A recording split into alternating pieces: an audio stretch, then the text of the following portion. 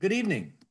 On behalf of the Leo Baeck Institute, New York, Berlin, I would like to welcome our panelists and all of you to the closing session of our conference on shared history, 1700 years of Jewish life in German-speaking lands. My name is Billy Weitzer, and I am the executive director of the LBI New York, Berlin.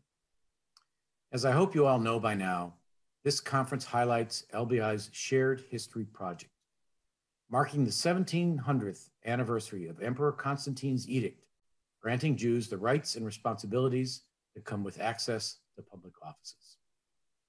Throughout the year 2021, the LBI, along with our partners and contributors, will utilize exhibits, conferences, and other programs to tell the story of 1700 years of Jewish life in German speaking lands. As with nearly everything during the COVID 19 pandemic, planning a conference was made much more difficult. We are pleased and thankful for the interest shown by those who submitted papers for the conference and the 24 papers that were eventually selected.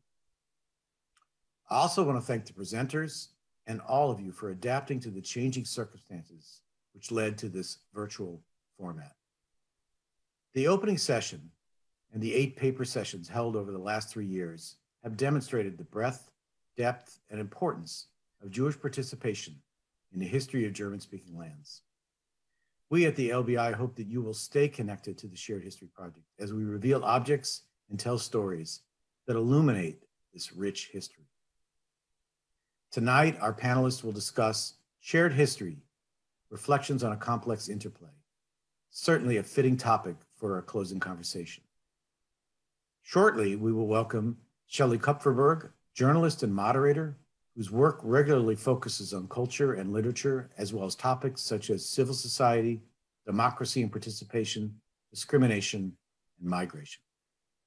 Shelly will introduce our two panelists, Professor Dr. Raphael Gross, president of the Foundation for the German Historical Museum, and Ambassador Michaela Küchler, representative for relations with Jewish organization, issues relating to anti-Semitism, international Sinti and Roma affairs, and Holocaust remembrance at the Foreign Office in Germany. I extend my deep gratitude in advance to the panelists for their participation. Before the panel begins, we will hear a special greeting from Ambassador Dr. Felix Klein.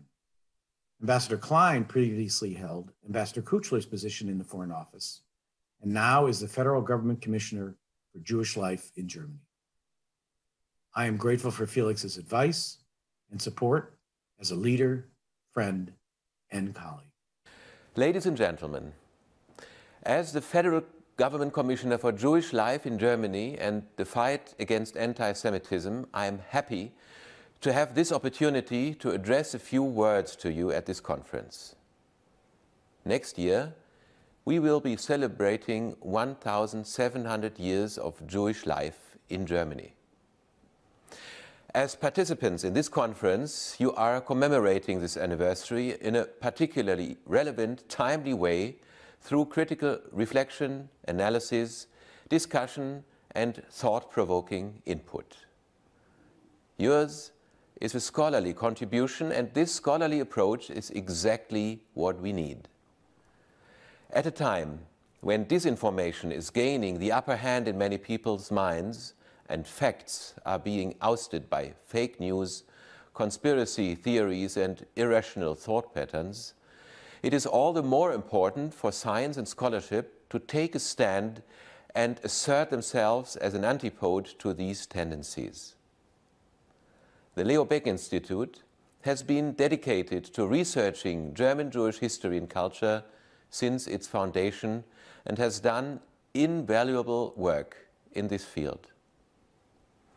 The point of departure for its shared history project is precisely where the zeitgeist gives rise to distortions of history and anti-Semitic enemy images.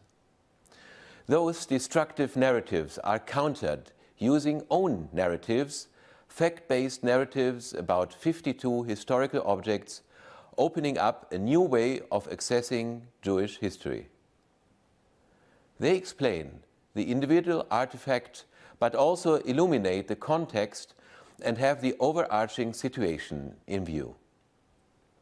I'm convinced that the fascination of these narratives is also an effective means of combating the devastating effect of anti-Semitic patterns of interpretation and conspiracy theories that are currently poisoning our social climate. Shared history shows us how fascinating facts can be. Using an innovative concept for imparting knowledge, it shows us that the appeal of reality is frequently greater than the appeal of lies. And this message, this signal, is so important, especially right now. Not least for that reason, the federal government supports the project Shared History with total conviction. The individual objects and their stories also illustrate the major overarching themes that have always characterized the existence of Jewish people. Life as a minority, migration, social inclusion and exclusion, questions of identity and self-positioning. You have been addressing these issues over the last three days. These are issues of growing importance for our coexistence because they affect not only the Jewish community, but the whole of our society. We are experiencing increasing religious and cultural diversity. Questions of migration and integration are an issue that is high on the political agenda. Dealing with religious, cultural, social minorities and shaping coexistence in a heterogeneous society have become central themes for us. The Shared History Conference focuses on precisely these phenomena, thus making not only a particularly interesting, but also a particularly forward-looking contribution to the anniversary here. I would like to thank you for your contribution to the conference and look forward to the virtual exhibition that will be the second part of the project, which, through your efforts, has got off to such a promising start. Thank you very much. Ja, soweit einige Worte von Felix Klein. Thank you very much for your um, words of welcome and introduction, Billy Weitzer and Felix Klein. This is going to be the closing panel of the conference shared history, um, reflections on a complex interplay. Uh, that is the topic of this closing panel, and that's what we are going to talk about. Us, that is Ambassador Michaela Küchler. I'm really happy that you're here. Professor Dr. Raphael Groß ist bei and uns. Professor Dr. Raphael Protagonisten gleich ein wenig genauer vorstellen. Herr Groß, hallo. As well, hello. Ja, hallo aus dem Jüdischen Museum Berlin. Hello from the Jewish Museum Berlin. We would have liked to have you here as a physical audience, but this wasn't possible. So we're quite um, happy that it's possible to talk to you through the media and um, to have an exchange as well. So if you have any comments to make, if you have any questions, uh, maybe questions from other panels that you would still like to ask here in this closing panel, you are welcome to do this. You can use the chat that's active and open now, and you can ask your questions there. And I'm happy to point out that we have uh, great simultaneous interpreters in the interpreting booth who have done great work over the last days. So thank you very much, Julia Mate and Martina England, who are working at this moment. So I'm sure if the audience were here, they would now applaud. Now you just have to imagine that. I have been introduced already. My name is Shelly Kupferberg and I'm a moderator for the Public Broadcasting Service. And as I promised to you, um, I'm going to introduce the panelists to you now. Michaela Küchler is the ambassador of the Federal Foreign Office and the special representative for relations to Jewish organizations, Holocaust remembrance, fighting anti-Semitism, and international matters of uh, Sinti and Roma. So these are um, wide-reaching topics. She cooperates with international organizations. Um, the like the UNESCO, the European Union. Uh, she is responsible for the cooperation with Israel and France and the OSZE and uh, the fight against anti Semitism and the dialogue with Jewish organizations in Germany, the US, and um, Eastern Europe, and also the remembrance of um, the Holocaust and the genocide of the Sinti and Roma. And she's the head of the International Alliance of uh, Holocaust Remembrance and is especially active in the field of falsification of historical facts. And Professor Raphael Gross has been the president of the Foundation of the German Historical Museum since April 2017. Many know him as the director of the, the Simon Dubnow Institute um, for Jewish History and Culture at the University of Leipzig.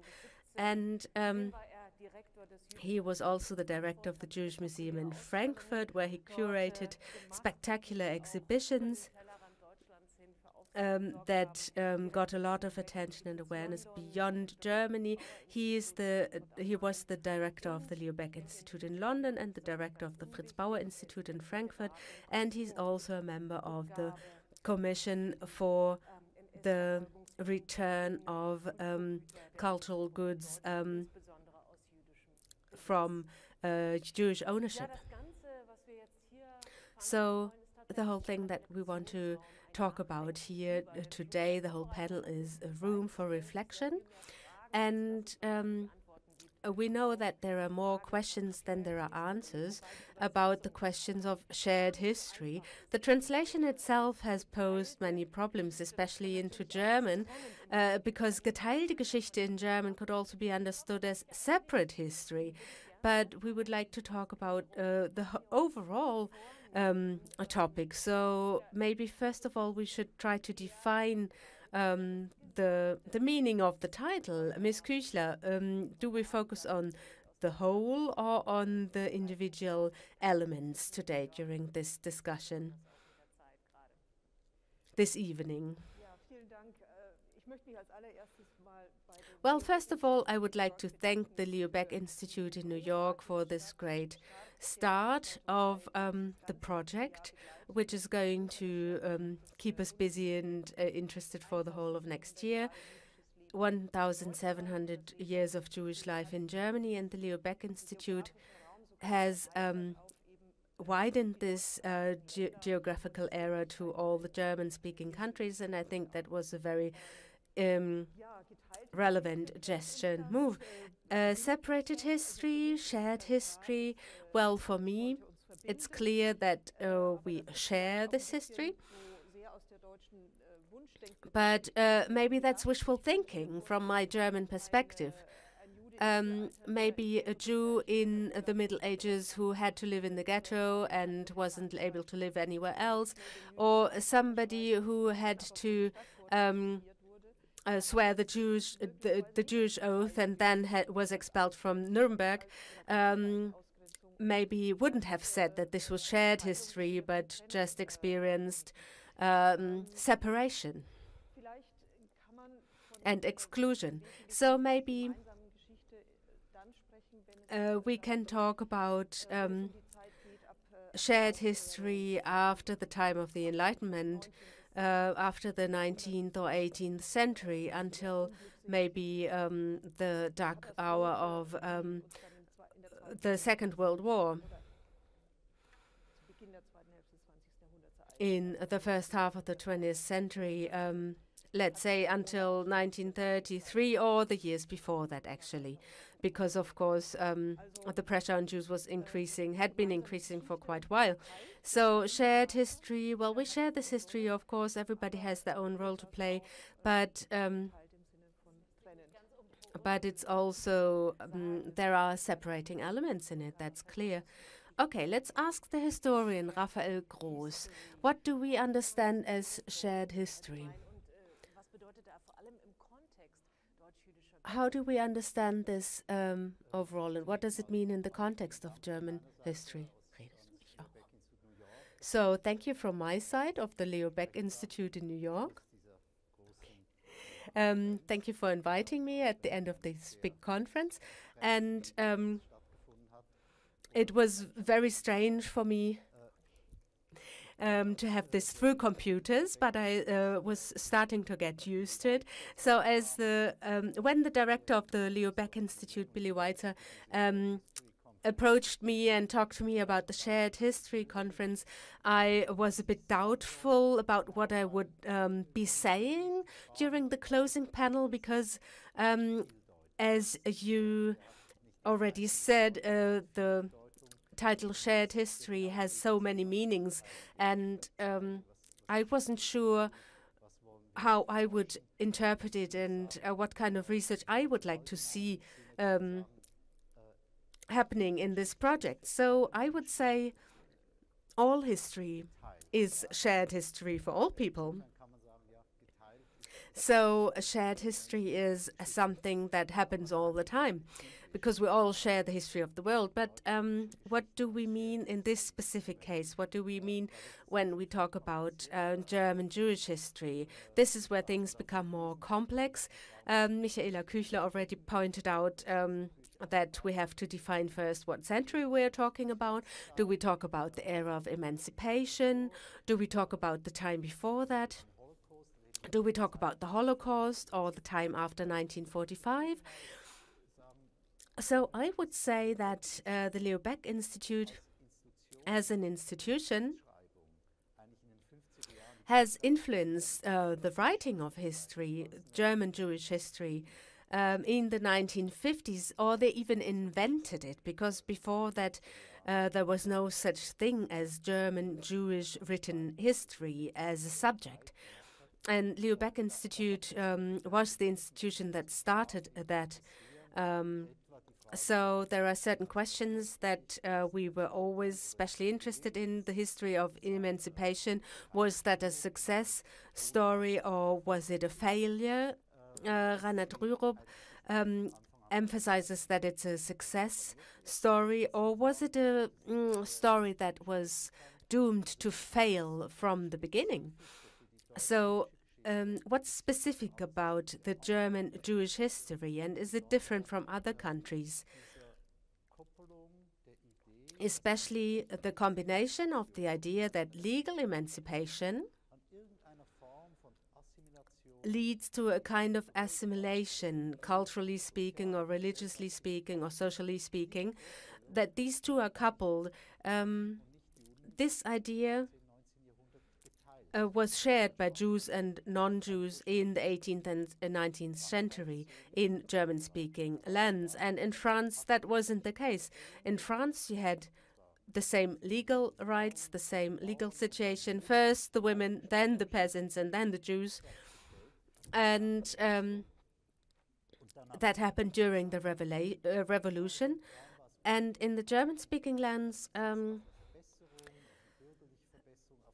there was this aim of um, social mobility and um, maybe this caused resistance right from the beginning because social inclusion was uh, kind of part of the emancipation uh, problem. So that is something that people don't agree on yet. So um, I would like to add something about the history after 1945, after the Holocaust. I feel that, um, well, it became clear to me during my preparation to this conference that um, there are people who are very interested in this um, German Jewish history, Germans who are very interested in this part of our history. And um, I ask myself, why are they so interested in it? And I would say they are interested in it because of the Holocaust. Let me give you one specific example. In the office next to me in the Jewish Museum that I was directing for 10 years in Frankfurt, there was an overall edition of the yearbooks of the Leo Baeck Institute. And this um, edition was passed on to us from a scientist who was an expert on statistics, and he worked through all these yearbooks. He was a member of the uh, Circle of Friends of the Leo Baeck Institute and was extremely fascinated by Jewish history and worked through all the details of these yearbooks. And he was somebody who um, people don't know anymore um, today. He um, was the one who wrote the report for Himmler about uh, the murder of the European Jews and then presented that report to Hitler. So he was the expert for Nazi statistics. And he was extremely interested in Jewish history and part of the member of the supporters of the Leo Baeck Institute. So he had his own personal interest in that Jewish history. So people tend to think that scholarly interest uh, prevents you from being a bad person. But in German history, that is not true, as this um, office neighbor of mine shows. Another person who gave me just as much to think about um, is a man who was, um, well, it's quite well known story. He was the chief editor of the Piper Publishing House. He was responsible for the books that Hannah Arendt published with his publishing house. His name was Rößner. He used to be a high ranking official of the SD, the Sicherheitsdienst or security service of the NSDAP, the Nazi Party. In his position as SS Obersturmbannführer, he was responsible for the department C3 on culture and arts, and he was the editor of Hannah Arendt's book on Rahel Varnhagen and later also of her book on Eichmann in Jerusalem. He wrote her long scholarly letters about how she should be interpreting Jewish emancipation and the success and failures of Rahel Varnhagen. And he tried to convince her, as we were able to show uh, in the letters which we displayed in our Arendt exhibition in the History Museum, that the word Jew should not be part of the German translation of the title, because, as he said, it wouldn't be popular and she should rather focus on Romanticism. And he also interfered a lot with her book on Eichmann. So this means that there are many different interests involved in our shared history. For me, it is not so easy to say that shared history is a positive notion and we can all identify with it. I would say shared history is a multifaceted term and there are different interests involved, some of which I personally agree with and um, find worthwhile and relevant, while others are very problematic, and we should be aware of this. And I noticed that there hasn't been any scientific research so far examining who is actually interested in, in history and why. Well, maybe there's somebody in the audience here today who thinks, finally, I have the topic for my PhD thesis we see that these questions are not easy to answer. I thank you very much, Raphael Gross, for these very impressive examples, for these paradox continuities that make this topic so problematic. Now I would like to move from your interesting practical examples to the work of Ms. Küchler. Ms. Küchler, how do you experience the question of identity in your work with Jewish organizations? How do they negotiate the question of belonging and their relationship to the majority society and the field of tension around that?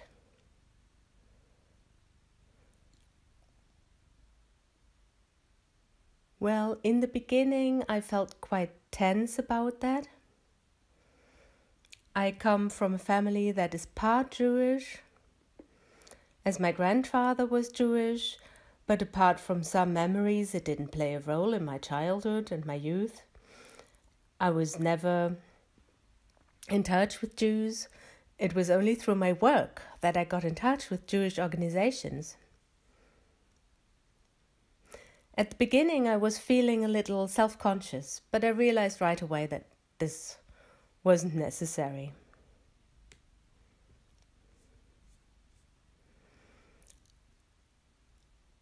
I believe that there are specifically Jewish points of view. I notice, for example, that now, during the pandemic, when I open the newspaper, Jüdische Allgemeine, or other Jewish publications, that they have a very strong focus on the protection of life. There is, for example, a trend to get vaccinated in order to protect others this point is highlighted much less in the German mainstream media.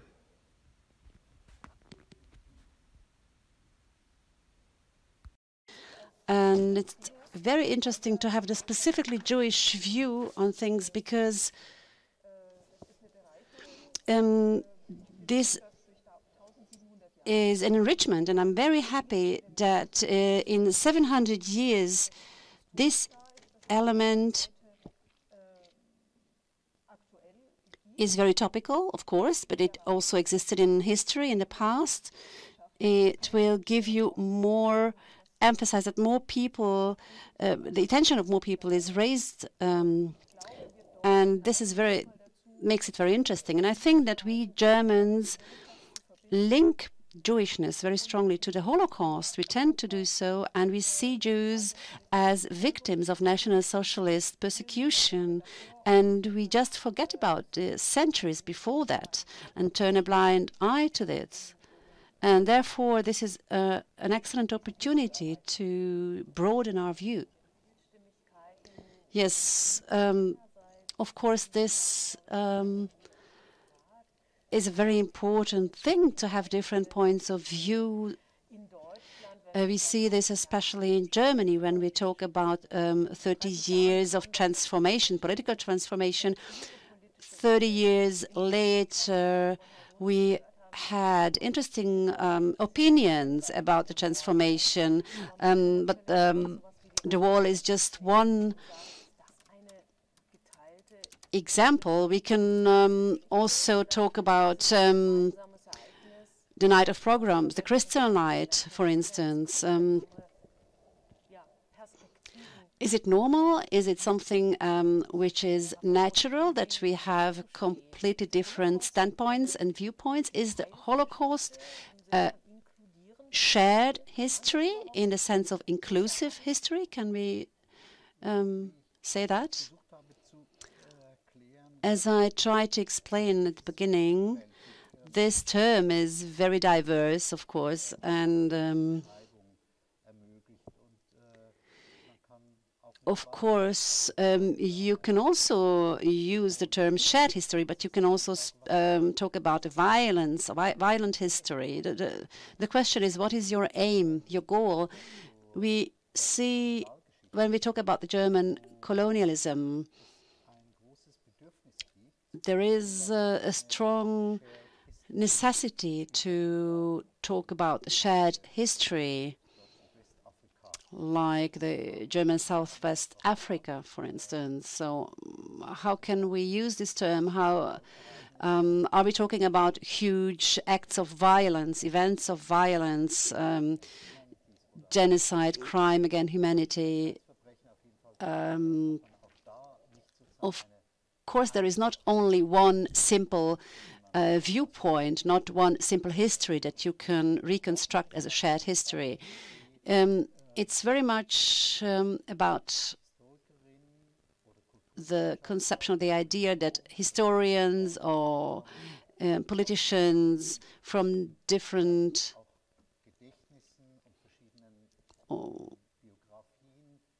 take a stand from different um, positions and different biographies and discuss the story of these countries uh, together so that they don't do it um, in separate um, views. And I would like to uh, come back to the history of the Leo Baeck Institute that was established in 1955 and uh, has a very long-standing, successful history, a very international history, could never uh, decide to establish an institute in Germany. There are there is a lot of discussion around this, and of course they have a dependence, uh, but not an institute itself. And this uh, was this has been very contested. Uh, but it's been uh, 20. It was 20 years ago that there were strong frictions within the institute um, about the question of doing so because they always had the idea that uh, there are very different perspectives and we don't want to mix them to mingle them. There was a scientific working group of the Leo Baeck Institute with a very long and very complex, com complicated uh, title um, and then there was another, like a subsidiary of uh, the Leo Institute New York, but it was not an independent uh, institute. And um, this is maybe because uh, there is an idea that uh, historians have different ideas, different standpoints, different biographies. And um, when it started in the 50s, there were um, functionaries of the, the German Jewry who escaped, um, or maybe children who were exiled in children's transports, for instance. And I um, had the opportunity to get to know them. John Grenville, uh, he left off Berlin after the Kristallnacht, uh, just to name one of the examples. And many of them were uh, very strongly threatened, but managed to escape, and they lost a lot of family members. And they um, recorded the, the, the, memories of this story.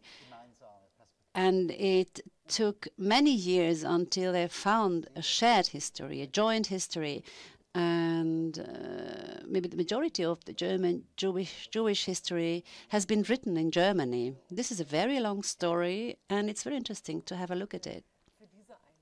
Yes, thank you very much for your thoughts and uh, this strong hesitation to face uh, these terms. And we have one uh, remark from the audience. Uh, well, the term shared history was strongly rejected because history is not shared, uh, not equally divided, not equally shared. Uh, neither Jewish history nor uh, colonialism. Uh, we could maybe we could use entangled history would be much better. Well, thank you very much for this uh, remark. And we have a question, a very concrete question. How do we deal with the stories and histories of uh, social of uh, minorities? Because one third of the German population are post-migrants. Why does the German government not fund or not uh, support these places of uh, democracy's history and the post-migrant stories are just forgotten? Maybe this is a question to Ms. Küchler. Well, I, I, would counter and, and ask, do you think so? Because next year we will have uh, the opportunity to um, see the, the anniversary of um, the recruitment agreement between Germany and Turkey. And I remember a visit to an uh, immigration museum in Bremen. There is a small, maybe in the meanwhile, a bigger uh, annex dealing with immigration to Germany, the history of immigration so of course we realize that there is a history of immigration, maybe not that strongly as a history of majority society. Um, there is uh, more space for action. But um, I wouldn't say that this is true. So the 50 years anniversary of this recruitment agreement with Turkey is something that um, appreciate uh, the contribution of immigrants uh, who came to Germany in the 50s and 60s. But maybe there could be a chair for migrant history in a university, of course. Yeah, these perspectives um, have been uh, actually demanded in the last 30 years after the fall of the wall, of course. Um, first of all, we had to admit that uh, there is uh, that we are a migrant society. There is migra migration, and first of all, I would like to speak about um, about the occasion of this conference. 700 years of Jewish history in Germany. We've heard a lot about it with different objects and exhibition and objects that will be shown on an internet platform telling a story. Ms. Küchler, what are the potentials behind this? You mentioned that um, it's uh, very uh, good to uh, speak about something else uh, than the Holocaust uh, because we always uh, mention this topic. But what potentials do you see in this um, narrative or this story of 700 years of shared history? What are the new questions that are raised? New approaches?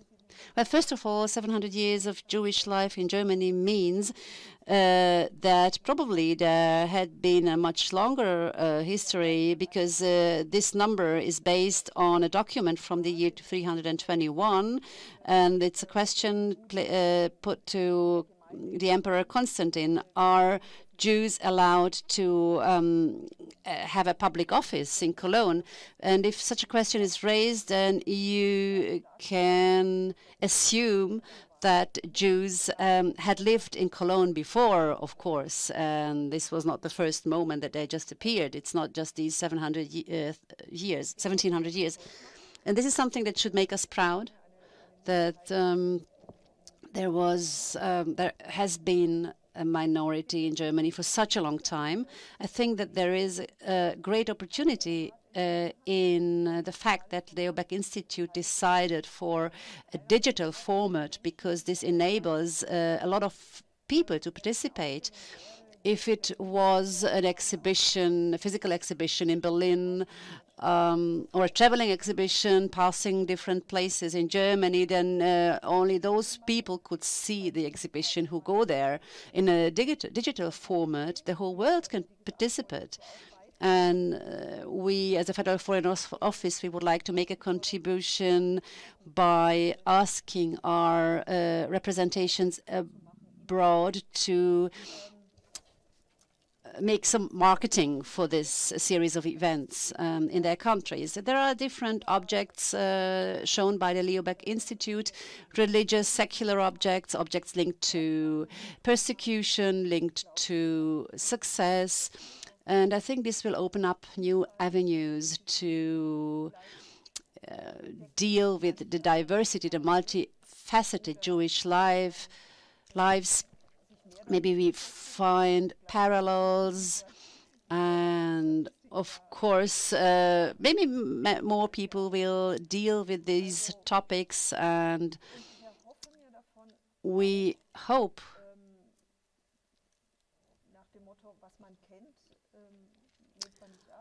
that uh, people will uh, not reject it when they get to know um, this story, and there will be more acceptance for Jewish minority in Germany.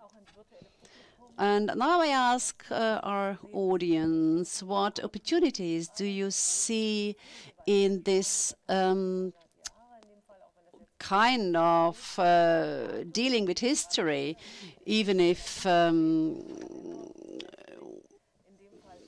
the, the, the, number of years is not necessarily uh, true, but um, I'm very much interested in what aspects can you think of? Um, how can we think of history? I am uh, because it's at least 700 years uh, of Jewish history. This is something that uh, the Jewish Museum tries to depict, or more, even more, 2,000 2,000 years of Jewish history up to the present, and what opportunities, what chances do you see in this?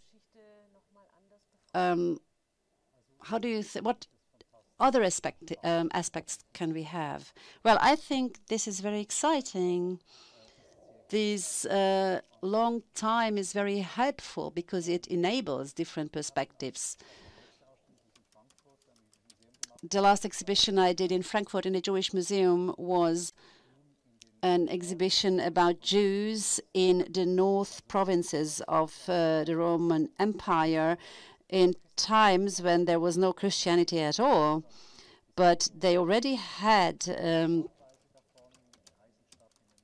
uh, they had Jewish settlements in Eisenstadt or in Cologne at some uh, individual places and uh, we did uh, this exhibition uh, because we had no idea about it. It's a very complicated and very difficult task to deal with this. And I think that it opens up new perspectives. And I believe that it uh, makes it possible to question certain terms, concepts uh, in connection, used in connection with Jewish history, with German history, and to have a new look at them because I'm always very careful uh, when I talk about minorities. I, I, I, avoid using the word minorities when I talk about Jewish history or Jews, because I think minority is a legal term which is strongly linked to the 20th century and Versailles. And it's usually a language minority like the Sorbs, or because I think German Jews didn't want specific rights, uh, they just wanted equal rights. They never demanded minority rights like Jews in Poland or in Eastern Europe, where there were, cl clearly were a minority as Jewish communities, but in German lands, this was different. Therefore, they did not define themselves as minorities. They used the term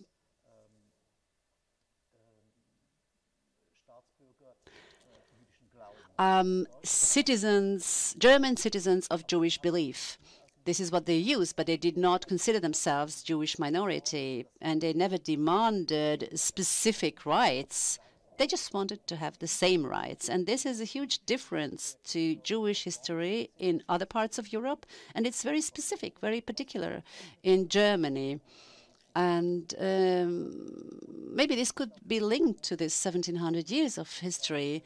And it's a huge uh, difference when we talk about migrant societies because Jews never considered themselves being a migrant minority or mi migrant community, but they um, actually uh, they had the opinion that they've always been there. And this is a very interesting point because we talked about um, how to talk about German-Jewish relations after 45, but we can also talk about Heine or Hermann Cohen.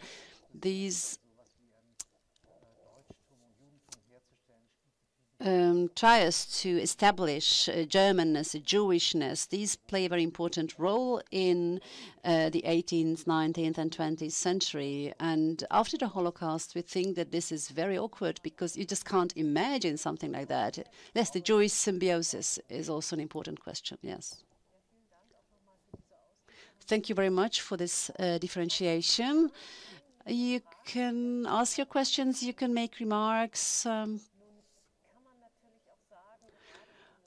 Now, especially in Germany, with this history, remembrance policy or polit remembrance is a very important point. And now I would be very interested in uh, this narrative that you don't consider yourself being a minority, but a German citizen of Jewish belief. You can find another definition, of course. Michaela Küchler, what does it mean in, ter in, in terms of remembrance? Um, do we have to find a new approach in our remembrance politics? Thank you, Raphael Gross, for those explanations on the topic of minorities. Um, I actually didn't mean it in a legal sense. I totally agree to what you said. And um, remembrance policy in is in Germany is always linked to the Holocaust, closely linked to the Holocaust, restricted even to it.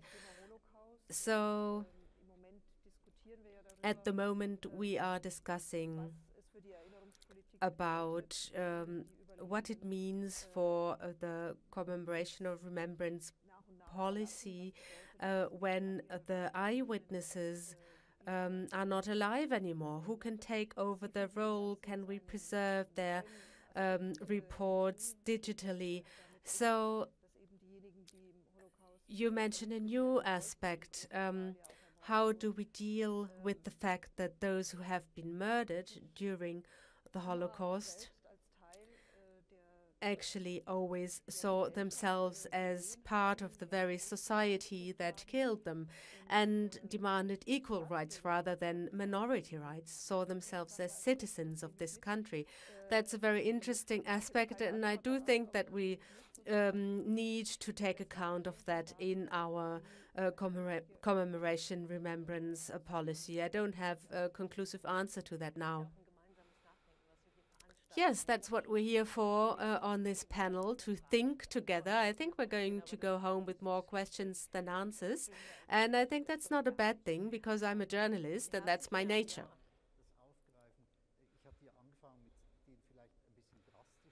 Yes, I started my remarks with um, Richard Korherr and Hans Rößner as drastic fascist personalities interested in history.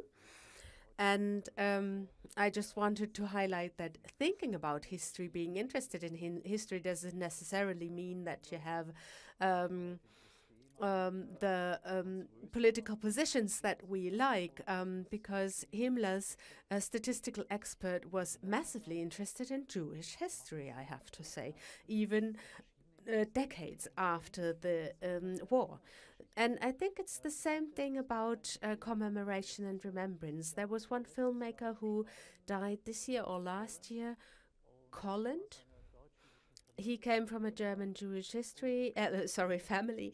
He uh, lived in England and he approached me several times when I was working for the Fritz Bauer Institute and he kept saying, um, I'm interested in the memories of the perpetrators. I want to collect the memories of the perpetrators. And nobody supported him. He went to the um, er Stiftung Erinnerung, Verantwortung und Zukunft and all kinds of other foundations, and nobody supported him as if these memories were not valuable and as if these memories were not influential for Germany in the decades after the war. But these memories are totally excluded. We are interested in the Shoah Foundation, in the Spielberg Foundation, in the family histories of Jewish um, families, and um, we um, think this is very important, and it is, uh, but we ignore the um, history of the perpetrators uh, because there's a lot that we can learn from that as well. And there's a vacuum regarding that. And I think it would be helpful if we would enlarge or widen our um, understanding of commemoration policy and commemoration policy or commem commemoration culture is one of the terms I don't like because it sounds as if it's a positive thing to remember the Holocaust, a romantic thing, kind of, and it's not. I never accepted that as a positive thing, and um, I think it's it's more it's more complex, it's more multifaceted than that, and um, I think these um, topics can become empty and shallow with time if you see them uh, from a one-sided point of view. And I think it would become more interesting again if we would also focus on the perpetrator's perspective. There was one panel discussion about the Israeli uh, film The Flat, Hadira, it's an Israeli film that shows how complex history actually is and um, how this couple who moved from Germany to um, Israel because they were Jewish kept up their friendship with the German uh, Nazi couple. Or rather, a German couple that became uh, a Nazi couple after they met. And they continued their friendship even after the war. And I think that's a very fascinating story because these are the complex aspects of history, and it's a daring, um, courageous step to um, make a film about such a complex topic. And I think that's important. Raphael Gross, um, when you were the head of the Leo Baeck um, of the Institute, um, did you invent a new term for the commemoration culture, the term you don't like? Well, no, I think it doesn't mean sen uh, make sense to just replace that term. I think um, you need to ask different questions. Uh, and I wasn't the head, uh, I was the head of the Fritz Bauer Institute, where we had this uh, working um, group on commemora commemoration culture. And at the Fritz Bauer Institute, I then said that um, we should talk about um, moral and National Socialism. Because we found that, as you see even today, for example, with the corona deniers, that these are often very moral based or pseudo moral based um, viewpoints. The points brought forward by these groups, um, the points that anti Semitic stereotypes are based on, are often very moral. And they're based on moral grounds or pseudo moral grounds. So I'm interested in the way that shared morals or shared pseudo morals are actually relevant for society. And in what way did National Socialism manage to strengthen these moral viewpoints. And what was left of that after 45? What was the echo of it? Um, Martin Walser um, had a famous speech in the Pauls Church um, about, well, and, and I asked myself about the echo of these uh, stories.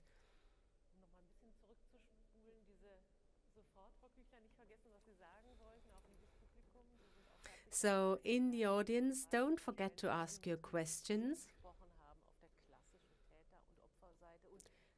You, um, to summarize it, you um, want us to look at the gray zones of morals as well. And I'm very grateful for that idea. It's very interesting.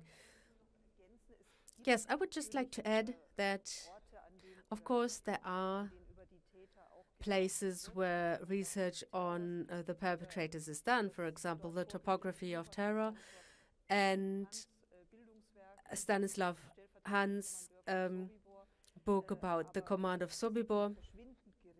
But of course, that's not so much compared to the research on the victims and research on uh, the suffering of Jews in National Socialism. Yes, and I think there's also a kind of silence in uh, the families of the perpetrators. I think in the Jewish families, uh, there is um, more communication about these stories, although there's also a lot of silence.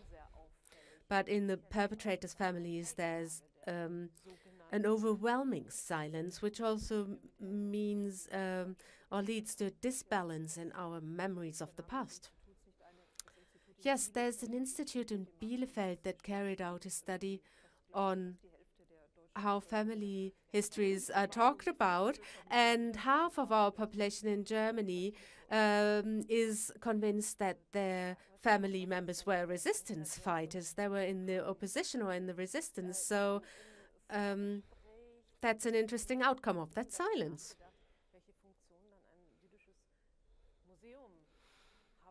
And we thought about the role of a Jewish museum. Um, would there be a Jewish museum without the Holocaust? What would the museum exhibit? Um, maybe still the stories of pogroms? Or would it be a folkloric institution? Uh, do we need Jewish museums? Isn't that something that separates our society?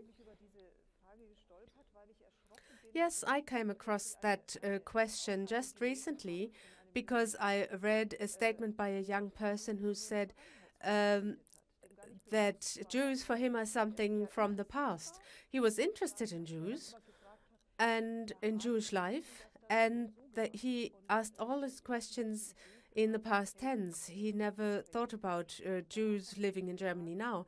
So I thought myself, does a Jewish museum not maybe um, increase that um, impulse or that dinosaur effect?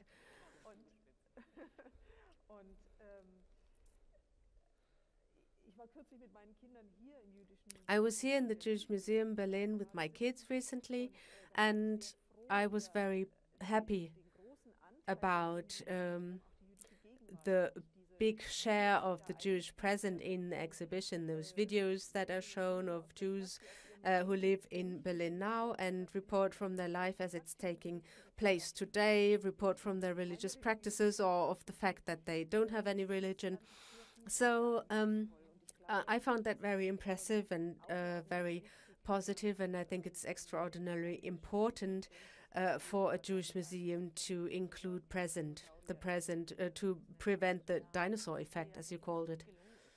Yes, and I think this museum is doing it extremely well, especially in the new permanent exhibition. And um, by the way, in Germany, um, I keep hearing in, in Germany we have a very diverse Jewish community with um, a multitude of, of, interesting voices, all kinds of religious um, religious groups combined in this community. So small but very interesting. Raphael Gross, do you see it that way as well? Because you're from Switzerland and you've also lived in London and other parts of the world. Do you perceive it like that? Well, first, let me say something about the Jewish museums. They have a very important role to play in Germany. Um, talking about uh, Jewish life in the past and today. The Jewish museums are extremely important in Germany because they are museums for non Jews.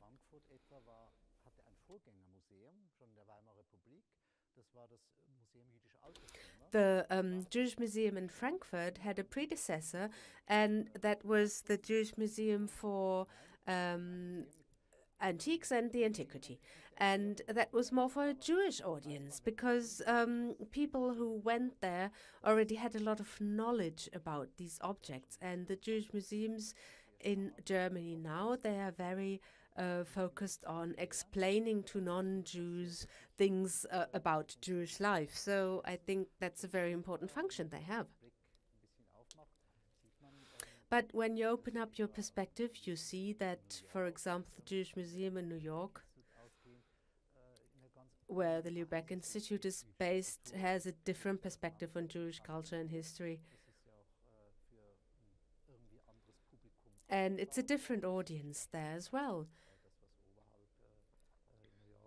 It um, it's also an art museum that collects art, and um, we wouldn't think about that here in the museum.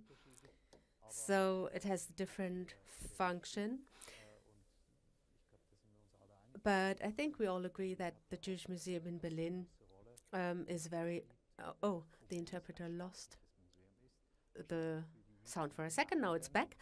Um, yes, the Jewish Museum has a very important role to play for the Jewish um, community in Germany. It's probably bigger than um, the community even um, thinks themselves because they like to criticize the museum. Uh, but I think it still has a very big meaning for the community, not only the one in Berlin, but also the one in Frankfurt and in other cities. Yes, and I think we should honor that. So, the multitude of Jewish voices. Um, is that a point that you're interested in? Do you think that there is a multitude of Jewish voices in Germany?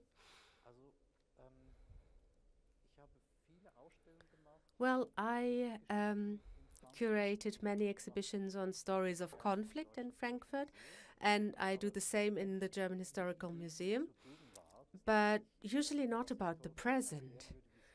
So I don't see myself as a historian explaining the present.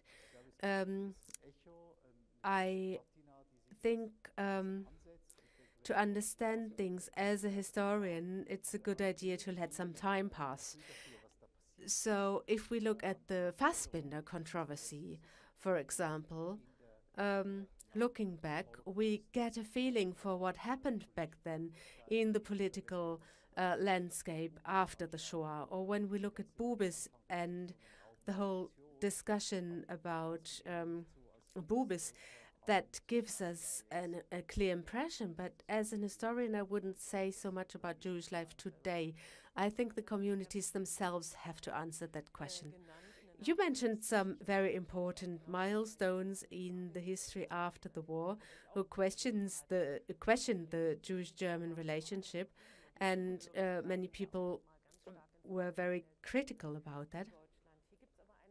And I have a question from the audience that refers to the multitude of voices. Question by Billy Weitzer. During those three days, there was a lot of uh, conversation about the multitude of Jews in Germany. How should 1,700 years of Jewish life in German speaking lands be celebrated for those Jews who came to Germany over the last 30 years? And how relevant would they be uh, for them? Why would they be relevant for them? Well, I think um, this multitude of voices is fascinating. And um, it's a diversity in terms of religion, in terms of country of origin, language, and there's it's a big um, achievement that things are kept together, that uh, the Jewish community uh, runs smoothly and included so many people who came from the former Soviet Union, for example, uh, in the 90s. So all of these people have been integrated really well into the community. So, of course, for young people who came here as children, or were born here, um, there are now difficult questions of identity. How religious am I? How Ukrainian am I? How Jewish am I? How German am I? I think these are difficult questions.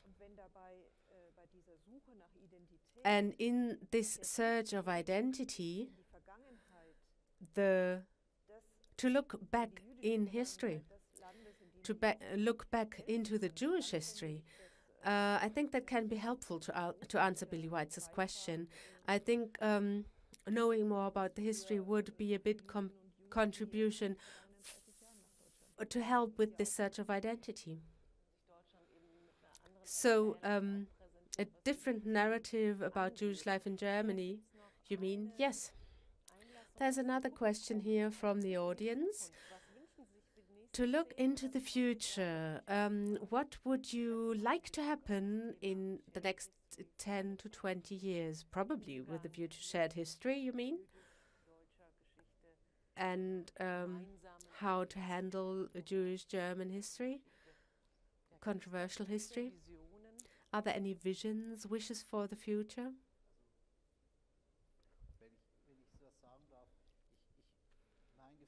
Well, it is my impression that the um, idea that institutions like archives or research institutions or museums help people to build up an identity and to shape the future. Um, I'm very skeptical about that. I don't see that as our task. For me, as an historian, uh, it's not uh, my it's it's not my job. Yes, I understand that you are responsible for history. yes. Um, I um, curated an exhibition on Germany in the German Historical Museum, and um, part of that exhibition was the migration of uh, Rus Russian-speaking migrants to Germany, and I think for many people from the former Soviet Union, this was a reason, this exhibition was a reason to come to our German Historical Museum um, because they now felt part of the German history. Before, they weren't so interested in coming to the museum because they weren't so interested in Heine, for example.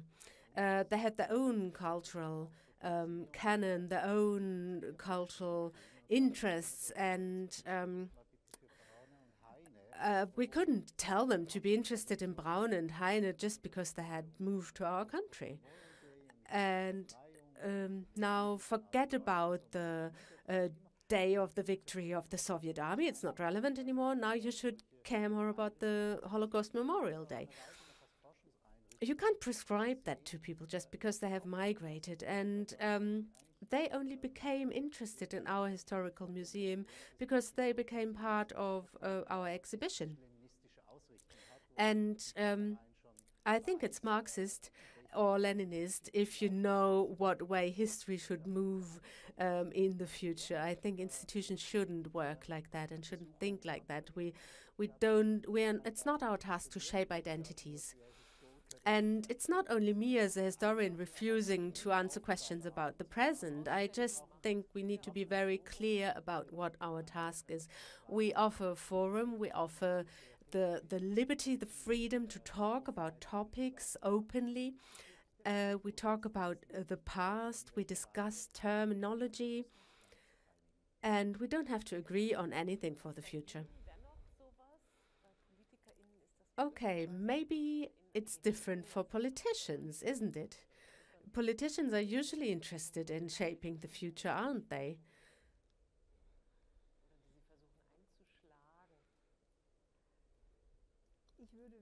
Well, I have a wish for the future. My wish is that um, we will not have uh, the anti Semitism that we have in Germany at the moment, that we will be able to push that back and give Jews the feeling that they have a safe life in Germany and that they don't have to um, pack the suitcases. Because uh, in 1945, it was actually a miracle that Jews, Jewish uh, citizens stayed in Germany. For many displaced persons, Germany was only um, one place that they had to pass through, but then they kind of got stuck. And um, it's also amazing that there was such a big immigration from of Jews into Germany in the 90s. I, I find that a miracle. I find that astonishing. And uh, my vision for the next 10 years would be that um, those people, uh, those Jewish citizens in Germany, feel at home and feel safe. Well, uh, it's interesting that you talk about getting the suitcases from the basement because I grew up as a Jew in Western Berlin with that um, feeling of sitting on packed suitcases. It was uh, highly debated in the Jewish families in um, my um, surroundings, and then most suitcases were unpacked in the mm, year around the year 2000 and a new generation grew up that um, felt much more self confident as part of German society. And over the last years, uh, this um, feeling is again weakened, this feeling of safety. Another interesting question from the audience. If you speak about the second and third generation uh, of um, Holocaust survivors, can we also talk about the second or third generation of perpetrators? How do you see that? Yes, of course. And this is something that, from my point of view, we don't discuss enough, at least not in my bubble. Let me give you one interesting example. Um, I know one person who has thought a lot about that topic. Alexandra Senft, the story of her family. Uh, that included one big Nazi uh, criminal who was uh, put to death uh, later. He uh, committed lots of crimes in Slovakia, and Alexandra Senft did a lot of research and wrote a fascinating account of that part of history and put it in an, a fascinating context. And I think her work is extremely productive. You can learn a lot from that. And I think um, you can learn about mechanisms that um, influence our society until today, much more than we think. much more than we would like to believe, and much more than uh, we um, understand when we only identify with the stories of Holocaust survivors. I think it's much more difficult to face the memories and history of the perpetrators um, and be interested in that. But I think it would be extremely important. I have another question from the audience, but I think we're not the right persons to answer that question, to be honest. But I'm going to tell you what it is anyway. The question is where the deficits are when we talk about the integration uh, of the Russian speaking migrants to Germany. Were there any deficits and what aspects did you observe in the develop or surprised you in the Russian speaking community over the last 30 years?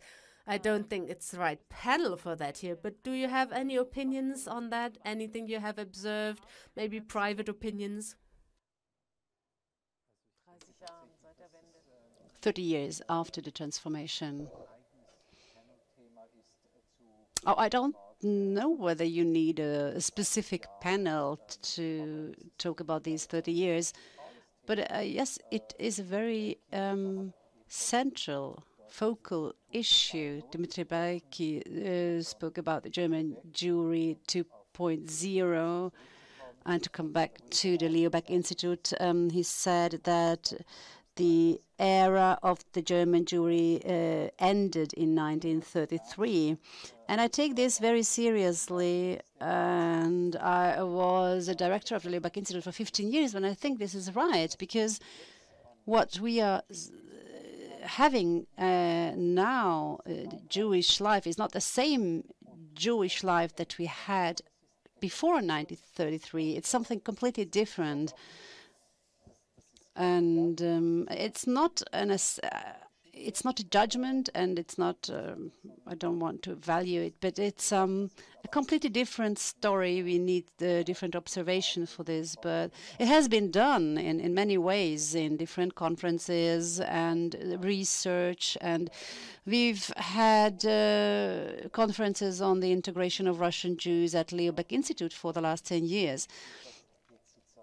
And um, I don't know how this can be seen as a joint, as a common history, or assessed as a common history. But this is uh, the task uh, a historian should should do. But this is also an important topic in the Jewish uh, Museum of Berlin: the immigration of Jews from the former Soviet states, and there is a whole department um, dedicated to this topic. Well, yeah, many, many questions, of course. Uh, this is something that we expected, actually. And thank you very much for your thoughts, for your ideas. Uh, Ms. Küchler, Ms., uh, Mr. Gross, thank you. Thank the virtual audience. I hope that you've learned new things uh, in this conference and that it has given you some food for thought. And I would be happy to see you at some place, New York or somewhere else, um, at the next conference. Now I will pass uh, the floor to William Weitzer to New York. Billy, the floor, Billy, the floor is yours. Good evening. I want to thank Shelly, Raphael, and Michaela for a wonderful conversation. Um, I was smiling while you struggled with the definition of shared history uh, the uh, please note that the uh, topic was with a question mark, and you uh, did question it a lot and and had a very good conversation about that. Um, it has been an amazing three days of panels, papers, uh, and even virtual coffee breaks. Well, I'm certain that um, everyone has had enough screen time this week and throughout the pandemic. I ask that you spare me two minutes to extend some thanks.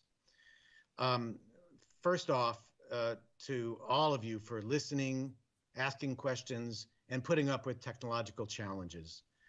Uh, to our funders, the German Foreign Ministry and the BPB. Uh, to the facility support from the Jewish Museum Berlin as a, a great partner. Um, for the participation by opening and closing panelists, paper session chairs, and those who wrote papers uh, and to the translators who uh, helped us in both languages. And uh, last but not least, to the staff support from so many at the Leo Baeck Institute, but especially Milena Rink and Miriam Bistrovich from our Berlin office. Finally, I ask that everyone listening stay connected to the Shared History Project during the coming year, starting with our virtual uh, exhibit that was mentioned tonight that will reveal each week a new object, essays, and related information about Jewish life in German-speaking lands. And for those of you who are in Berlin, I hope you'll be able to visit our physical exhibit, which opens in late January in the Bundestag and will be there until the end of April. Thank you. Please give us feedback uh, on our project. As I said, please participate, stay and stay safe and well in the coming days and weeks.